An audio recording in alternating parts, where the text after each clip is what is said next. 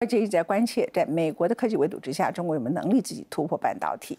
而中国现在本身呢，对于半导体的部分，其实消息相当的隐秘，有些是过分的 bluffing，过分的吹牛，有些部分呢是相当的低调。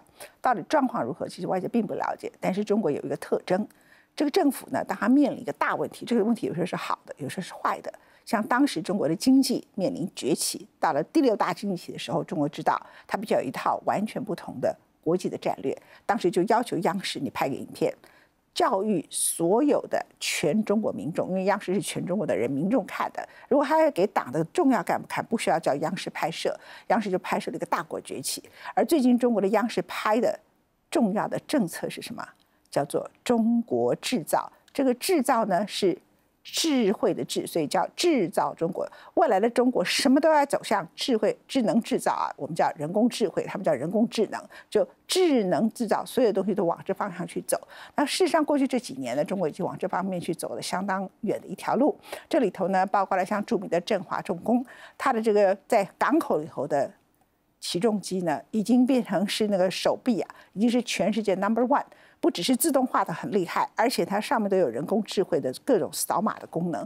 未来整个中国希望能够做到智能制造。那么这个智能制造的情况里头，就已经不是龙头企业，就进入了所有的中小企业，而由央视拍了这么一个纪录片，变成一个很重要的一场全民教育。即使川普发动的美中贸易战和科技战，让中国制造2025成为敏感词，甚至一度从中国官媒上销声匿迹。即使拜登签署行政命令，禁止美国企业投资中国半导体、微电子、量子信息和人工智慧系统等三个领域，但中国从未停止朝制造强国转型的脚步。I've only seen this in sci-fi movies. Right, right. And I'm looking at it in real life. It's crazy, right? Unreal. How many robots there are doing that. That is incredible. 这是定居深圳的英国博主李巴雷特三年前参观重庆的长安汽车自动化工厂后最直观的感受。相比美国的特斯拉超级工厂，这里的科技感与未来感毫不逊色。This is proper manufacturing, isn't it? This is, yeah, this is. 从汽车业到传统纺织业。这里就是我们的智能化袜业生产车间。我爸妈他们都是老一辈做袜子的，像以前做袜子的话，这个袜子要用手翻来翻去的。我们现在是用的全新的数字化袜机，呃，把以前很多的步骤都已经省略掉了。就连田间地头也有满满的黑科技。在大河湾示范区投入使用的新一代智能农机装备与感知系统联动，可以实时监测执行过程中整个系统的变化，采集的数据及时汇总到大河湾指挥中心。中心以数据为基础，通过分析建模做出智能决策，为黑土地开良方。中国正全面利用人工智慧加制造，加快制造业转型升级。这些科技手段虽然并非原产于中国。但它展现出一定的企图心，要把它运用到最好。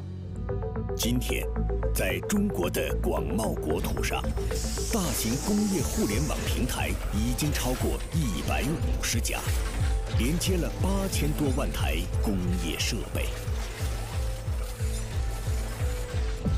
每一个人，每一台设备都在实时产生着海量数据。数据就是新的能源，就是燃料。有了数据燃料，人工智能的发动机就会运转起来。当世界各主要工业国家纷纷推出自己的工业四点零计划，作为制造业大国的中国也抓住推动制造业转型升级，将工业互联网和五 G、大数据中心、人工智慧等并列为新基建内容。自二零一八年以来，发展工业互联网已经连续五年被写入中国政府工作报告，每年还会发布若干的推进工业互联网文件，这使得各行各业都积极投入转型制造。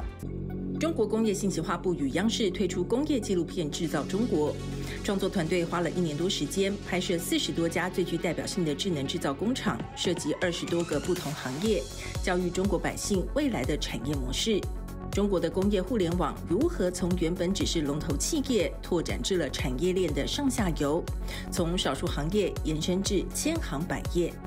这是中国从自动化往前再走向智能制造的转变。过去，中国政府经常要求央视扮演教育的角色，但这次目的不是大内宣、宣传党的荣耀，而更要加上巩固内部的信心。当美国对中国科技围堵时，中国要设法突围。工业化的发展将最终推动工业乃至实体经济整体的深刻的变革，重塑全球的制造体系、供应链体系。和产业组织体系，从而推动生产力的重大的变革。它的位置仍然远远大于已知，更加波澜壮阔的场景，我相信还在后面。